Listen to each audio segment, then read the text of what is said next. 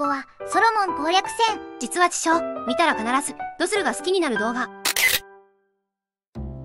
前回まで2回にわたってテムレイ特集をお届けしてきましたが今日はいよいよ新章突入。みんな大好き。ドズルザビが大活躍の回なのだ。というわけで唐突ですがモノマネやります。モノマネ世間で誤解されてるドズルザビのイメージ。どうぞ。うはははは戦いは数だよ兄貴。行け。やれ連邦の国家どもめ地獄に引きずり込んでやるわ。ビグザムリョウさんの暁にはやらせません。やらせません。落ちた。あの番組か。なんて世間では声がでかい、諸突猛進、脳筋キャラみたいに誤解されてる、猛将ドスルサビなんて呼ばれて、なんなら漫画オリジンでもこの通り。オリジンのドズルでよく見る光景。でも原作をよく見ると無償、師匠、家族を愛し、国を愛し、そして部下にも慕われた、名将、だとわかる。ソロモン攻略戦におけるドズルの采配はまさに、完璧、理想の上司、いや人間の理想の姿と言っていいほど、しかしたった一つ、大きなミスを犯してしまう。それは何だったのか？すごい熱の入りようなのだこの動画を見ればみんなドズルが好きになる。まずはあらすじから。あらすじ。コンスコン艦隊を撃破し、サイド6を脱出したホワイトベース、連邦軍第3艦隊と合流し、補給を受ける。そこではルナツ司令、ワッケインとの再会が待っていた。以前は問答無用で独房にぶち込まれたけど今回は成長を認めてくれるんだよね貴様も一発の指揮官面になってきたかな。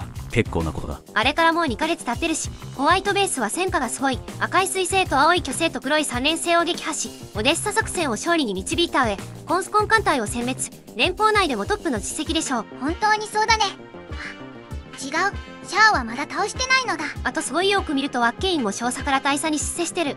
エリショーが変わってるの。こんなん気づくかそして補給を受けたアムロたちはティアンム艦隊のソロモン攻略戦へ参加する。こんなに少ない戦力で、都会はイブカルが、連邦の新兵器、ソーラーシステムが発動、ソロモンに大打撃を与える。ここらへんみんな余裕も出てきたせいか戦闘中の会話に人柄が出てて面白いんだよねカイ、ガンキャノン、行くぜ、カイ。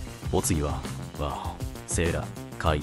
息を抜いてはダメよ、カイ。セーラさん、愛してるよ。そしてティアンム艦隊のモビルスーツ部隊もソロモンへ上陸し、決戦の様相となる。しかし妻子を逃したドズルは、新型モビルアーマービグザムを見て不敵に笑うのだった。ビグザムの用意はどうか。決戦はこれからである。ほう、これがビグザムか。かっこいいドズルの活躍は最後にまとめるわ。まずはここから。ポイント1、アムロとフラウ。そしてハヤトの恋。ガンダムを整備中のアムロ、クルーから、お食事です。なんて声をかけられた時、一瞬、フラウかな？と思って、あ、違った。ってなる描写がある。今まではこういう時必ずフラウがご飯持ってきてくれてたもんね前々回ではこんなセリフもあったのだセーラ、ねえアムロ。あなたフラウボンのことどう思ってるの？キュンキュンするわ。アムロとフラウの淡い恋。これ恋なの？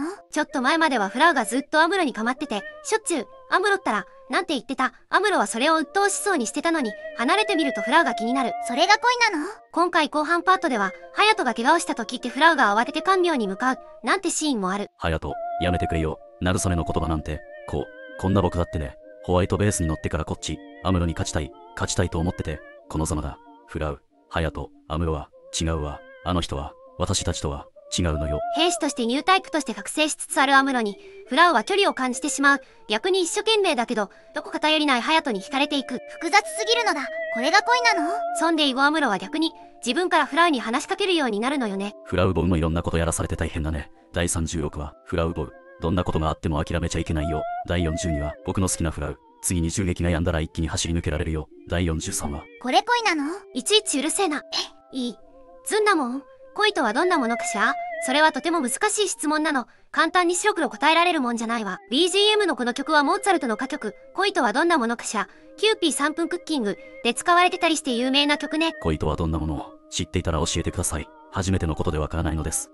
私の心は、冷めたと思えば燃え上がり、そしてすぐまた凍りつく。なんでこの曲で料理番組やろうと思ったんだろう？思春期っていろんな異性のことがちょっとずつ気になってさ、本人でさえこれが恋か、気のせいか、全然わかんなかったりする。ちなみに昔、富野監督、ファンの質問に答えてこんなこと言ったそうよ。女子中学生、僕の好きなフラウ。って、あれって告白なんですか？鳥の、そういうこと聞く人、大嫌いです。見ればわかるでしょう。女子中学生相手に手切りしすぎるのだアムロとフラウの、恋。皆さんはどう思うかしら？そんで次、ポイント2、ララートカムラン。サイド6を立ち去るシャアに、あの頼りなかったカムランが、めちゃくちゃガッツのある一言。カムラン、早く出て行ってもらいたいもんだな。二度と来てもらいたくない。すごいスレッガーさんに本気ならなぶれるはずだ気合の問題だって言われてなんか一皮むけたのかしかしシャアは涼しい顔でこう言い返す。シャア、言葉には気をつけたまえ。ミスター、カムラン、サイド6が生き延びてこられたのもジオンの都合による。その辺をよく考えるのだな。カムラン、おめこぼしだとでも言うのか。確かに開戦当初ジオンは4つのサイドを壊滅させてるのだサイド6もやろうと思えばやれたのだそしてその後、シャアの船からララーが降りてくるんだけど、この描写、見て、カムランとその部下も思わず息を飲む。発行しとるどういう理屈だ？ファーストガンダムでは最終的に、若者はみんなニュータイプになる。そんな風に描かれてる。カムランも見た目はとっつぁん坊やだけど年齢はおそらく20代前半。ニュータイプのララーに、何かを感じたんでしょうね。さらにその後ララーは背景をピッカピカに輝かせながら飛んでいく。これ現実的には宇宙船ドックの伝統なんだけど、幻想的に描写されてる。これはシャアとララーの物語のオープニングみたいなものなのよ。オープニング？ララーはサイド6に閉じ込められ、フラナガン機関で研究対象にされていた。前回シャアがこう言ってるわね。シャア、そうでなければ、みなしごだったらラーをフラナガン機関に預けたりはしない。サイド6では寂しい思いをさせてすまなかったな。なぜフラナガン機関はジオンのお膝元、サイド3ではなく、遠く離れた中立コロニー、サイド6にあったのか考えたんだけど、これいずれメンバーシップ限定動画で話そうと思うわ。のだそしていよいよシャアは、ララーを連れて広い宇宙へ出る。それは競技には、ララーの実戦デビュー。だけど、講義には、ニュータイプの時代の始まり、とも言えるものなの。そういやシャアはこの頃ザビ家打倒をひとまずやめてニュータイプの時代が見てみたいと思って行動してんだよねララーは恋人でもあるしシャアの夢を実現するパートナーなのだカゴの中の小鳥であったララーが光る宇宙へ飛び立つ。だからこれ、シャアとララーを主役にしたストーリーのオープニングなのね。見てよこの、カムランの元を去るシャアの自信に満ちた歩き方。センターから手前へずんずん直進してきやがるすごい自信を感じるのだそしてララーはこの表情、頼りになる。そして自分を認め、愛してくれるシャアと一緒にいられる、女の子の顔なのね。これが後の悲劇につながっていくと思うと辛いのだテレビ版のいいところはここなのよ。じっくり丁寧に人間関係の変化を見ていける。劇場版でのまさに花火のように短く強く燃えてチュララーもいいけど、シャアへのピュアな恋の顔からスタートして、アムロとの三角関係の中散っていくララー。悲しいねそんで次、ポイント3、戦場の描写。出撃したアムロがぽつりつぶやくこのセリフ。これが戦場か。これまでもずっと戦ってきたけれど大抵は敵味方合わせて5機とか10機とか小規模戦闘ばかりだったのだ戦艦もモビルスーツもどんどん出てきて戦争って感じになったねこれ次回のドズルとの決戦への布石なの。このナレーションも有名ね。聖火しか、それは終わってみなければわからなかった。確かなことは、美しい輝きが一つ起こるたびに何人か、何百人かの人々が、確実に宇宙の塵となっていくということだ。あとは絵が語ってくれるわ。ソロモンを取り巻く七色の光、虹色に輝くビーム核乱膜、そして生まれては消えていく、光の数々。戦争という悲惨なものをあえて美しく描いている皮肉なのだこれまでの戦いは大抵1対1の決闘、果たし合いのようなものだった。それがいよいよ戦争に変わる。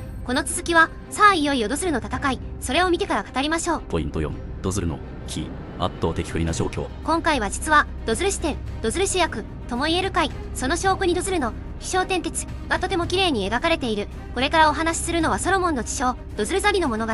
ドズルの物語なかなかのパワーワードなのだまず最初、ドズルの圧倒的不利が描かれる。丸1、戦力の不足。今あるリックドムでは数が足りんのだ。新鋭モビルスーツの1機をよこすくらいならドムの10機も回さんのか。丸2、そして現場を知らない分開発部は、新兵器の開発に血道を上げた上、機能不全に陥っている。たくさんドム作りゃいいのに新兵器作ってフリーズし、新兵器も完成しない。ジオン兵。今回のビブザムも試作段階でして、開発は急いでいるのですが、何分各方面からの要請が、その、以前キシリアタンも軍参謀本部に消えてたねいろいろコミュニケーションがうまくいってなくて末期だなって感じがするのだ丸3、おまけに部下の連度も低く、人材不足が露呈してる。ドズル、キアン無艦隊の動きはつかめんのか？ジオン兵。申し訳ありません。ミノフスキー粒子の極度に濃いところを索敵中でありますが、ダミーが多くて、ドズル、それが戦争というものだろうが。軍隊は結果が全て実行あるのみってレビル将軍も言ってたのだそうなのよ。物量はない。兵器開発部はトンチンカン。部下は言い訳ばっかする。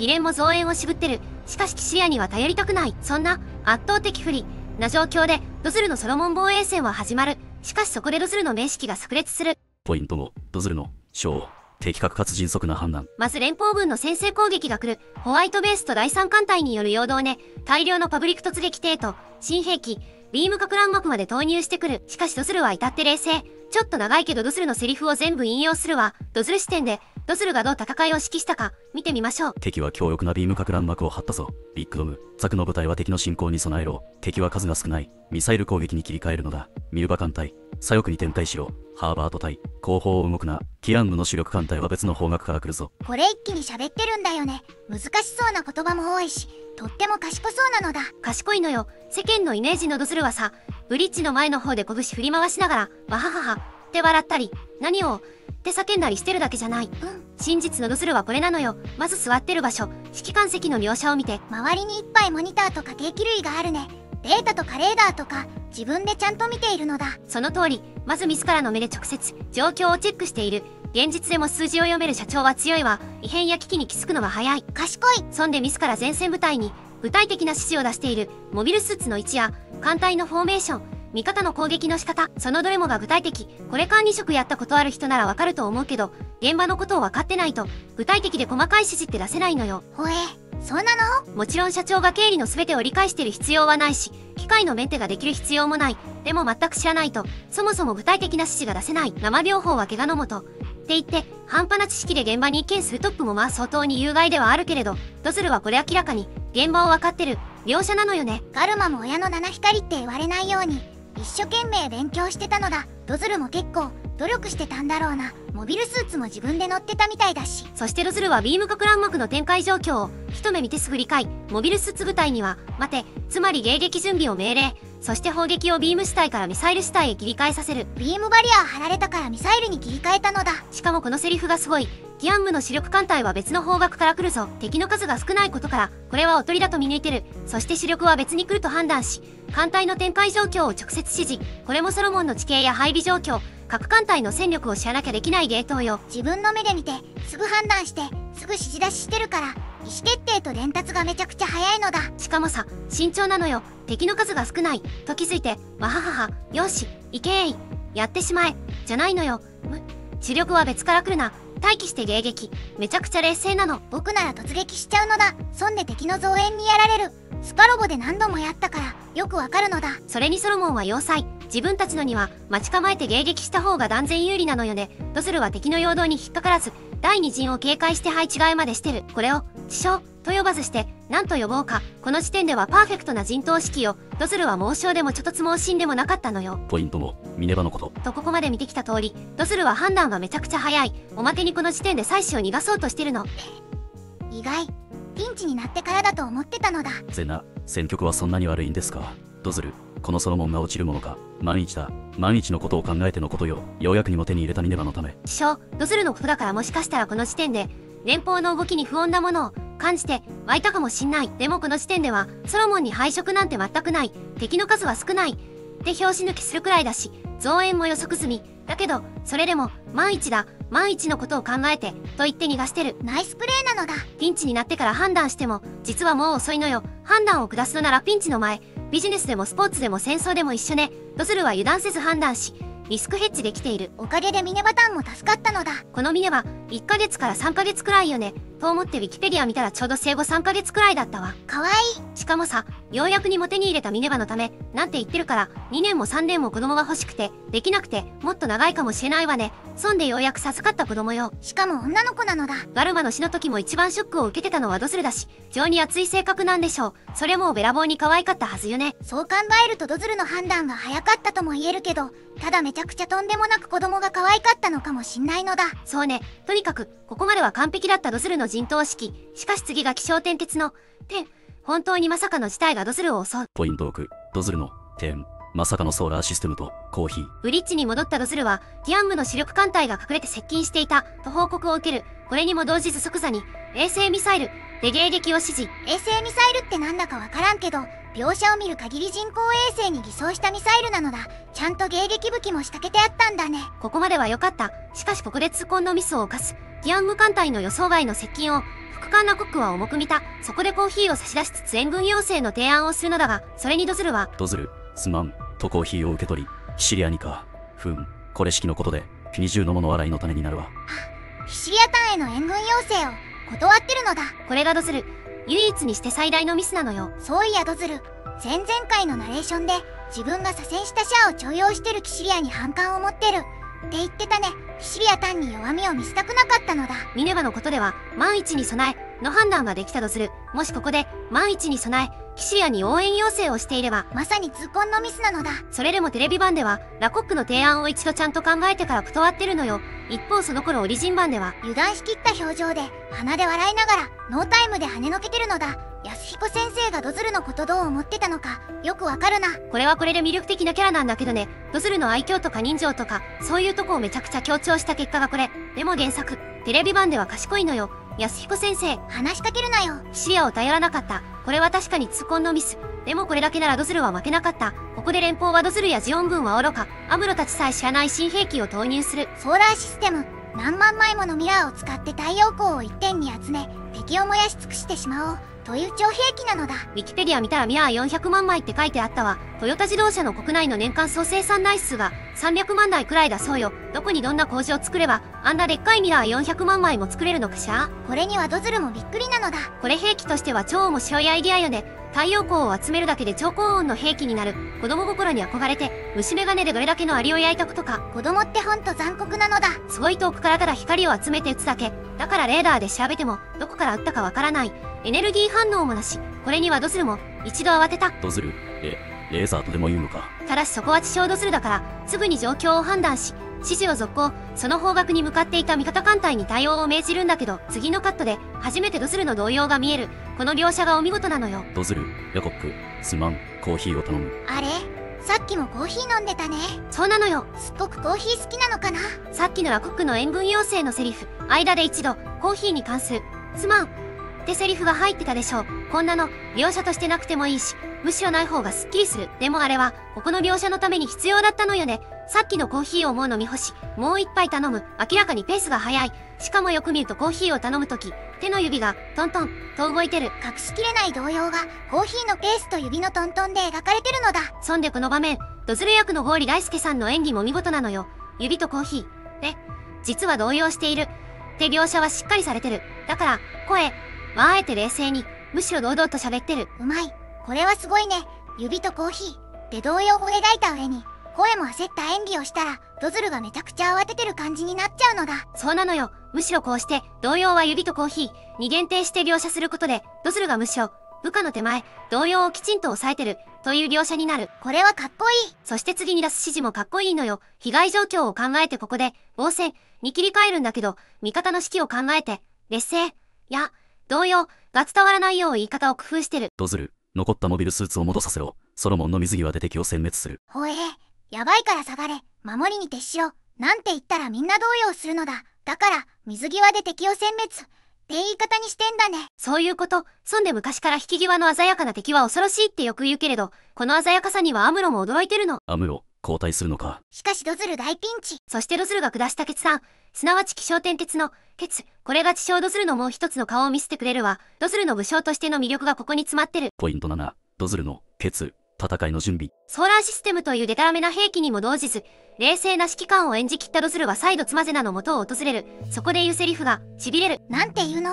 これまでのこと、よく繰り返して、ドズルの状況を思い出しながら聞いてね。妻ゼナへの痺れる一言。それがこれ。脱出して、姉上の村な誰でも行ってくれ。脱出して姉上キシリアのことなのだその通り、あれだけ反目してた。一度は塩分要請も断った姉、キシリア。なのに妻と子供のことになると、迷わず、姉上のところへ行け。キシリアのとこなら安全だって考えたんだねそうなのよ。妻と子供の安全だけを考え、メンツ、シャア、戦後の権力争い、そういう計算を全て捨てた。そして、いわば最大の敵だったはずの姉キシリアの元へ送る。ゼナとミネバの安全を思えば、プライドなんて気にしてる場合じゃない。キシリアに頭をされてでも、二人に助かって欲しかったのね。泣けない？泣いたわ。またウプ主の泣いたカウントが一つ上がったのだ二つ上がったわ。二回見て二回泣いたから。涙腺が緩すぎるさらにここでドズルはさ、声を使い分けてんの。声？妻ゼナの周りにはお付きの人たちもいるのね。だから基本的には大声で、大丈夫だ、ソロモンは落ちん、万一だ、って言ってんの。だけどゼナのおでこにキスをした時、一度だけ小声でこう言う。ミネバを頼む。強い子に育ててくれ。ゼンナ。ゼナにだけ聞こえる小さな声で、ミネバを頼む。俺もソロモンももうダメだとはっきり認め、子供のことを頼む。だけどそれを周囲に聞かせては、式に関わる。だから小声で、顔を寄せたまま、ゼナにだけ囁いた。泣けるしかしドズルはすぐに気持ちを切り替え、部屋を出ていく、モビルスーツデッキの整備兵やパイロットたちに直接語りかけるの、大声を張り上げて、堂々と、威風堂々たるジオンの将として、ドズル、モビルスーツ隊の編成を急げ。敵は上陸しつつある。決戦用意、クドム、ザク、出動用意。ガトル戦闘隊、ミサイルの補給の済んだものか発進させ、ビグザムの用意はどうか、決戦はこれからである。そしてこの激励を聞いて、見て、デッキのモビルスーツの物合いに、次々と火が灯る。モビルスーツの目が光るって描写を使ってドズルの激励で兵士たちに火がついたことを表してるのだ少し前のセリフで、ドズルはすでにキシリアに援軍要請を出してることもわかる。ゼナイのセリフから自らの死を覚悟していることもわかる。しかし、兵の前ではそんなことはお首にも出さない。そしてブリッジの指揮官席にふんぞり返るのではなく、現場に出る、整備兵とパイロットたちを直接激励し、最後の戦いへ赴くの。そして最後に一言。リグザムの用意はどうか、決戦はこれからである。ほう。これがビグザムか。まさに武将なのだそして、妻子に別れを告げ、自ら最前線に出て戦うドズル、明らかに死を覚悟しているはずなのに、その口元にはなぜか笑みが浮かんでいる。どうして？続きは次回、恐怖、機動ビグザム、にて、まとめ、時代はドズル。私もオガルバ様のファンやめてドズル派になろうかしら。ほんとそれくらいかっこいいのだもともと好きだったけど一行ずつ分析したらビビったわ。かっこよすぎ。ねえ僕思ったんだけどなーにあのこれさ顔がドズルだからドズルだったけどドズルじゃなかったらドズルじゃなかったんじゃない？何を言ってるの？いや例えばドズルの顔がゼクスみたいなイケメンでねそんで冷静に判断し動揺を隠し死を覚悟し家族を逃がし前線の兵士を激励しそして自ら最前線で戦うなんてのだったら役満ね。